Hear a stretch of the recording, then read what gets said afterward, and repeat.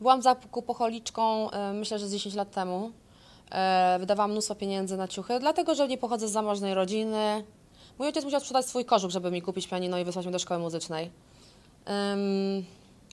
I te pierwsze duże pieniądze, które zarobiłam tutaj w Warszawie, no poza tym, że spłaciłam rodzicom kredyt, to ja chciałam się tak nachapać i tyle sobie kupić ciuchów jak Britney Spears w MTV pokazywali.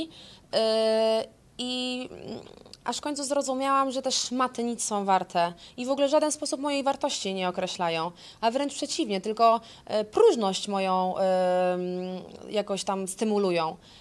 I zrozumiałam, że nie chcę tak żyć.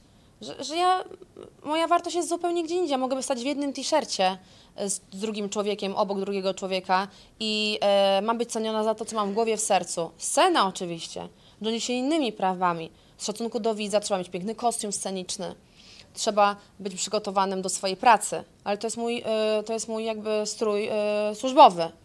Mm, Natomiast no, nienawidzę tych szmat, nienawidzę tych ciuchów, chcę się wszystkiego pozbyć. Zrobiłam wielkie porządki, e, spakowałam połowę do domu, samotnej dom, mat, domu matki i dziecka.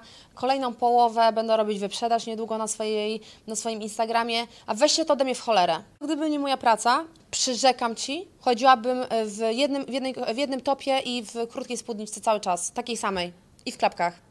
Ale to jeżeli chodzi o zakup, e, może też niekoniecznie ubraniowe, czy ty masz do czegoś słabość, e, taką, że na przykład, nie wiem, kupujesz, lubisz mieć, nie wiem, kobiety często lubią mieć torebki, buty, Nie. tak?